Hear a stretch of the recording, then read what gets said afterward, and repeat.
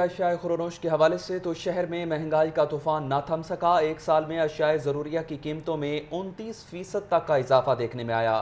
दस किलो आटे का थैला तीन सौ पचानवे रुपये दाल चना एक सौ छब्बीस, चीनी साठ रुपये फ़ी किलो हो गई। जबकि एलपीजी, घी, चाय की पत्ती, दाल माश, अंडे सब कुछ महँगा हो गया है। आपको बताएँ कि शहर में महँगाई का तूफ़ान ना थम सका। एक ही साल के दौरान अशियाए ज़रूरिया की कीमतों में उनतीस फ़ीसद तक का इजाफा देखने में आया। दस किलो आटे का थैला, तीन सौ पचानवे रुपये दाल चना, एक सौ छब्बीस। चीनी, साठ रुपये फ़ी किलो तक हो गई। एलपीजी, घी, चाय की पत्ती दालमाश अंडे, सब कुछ महँगा हो चुका।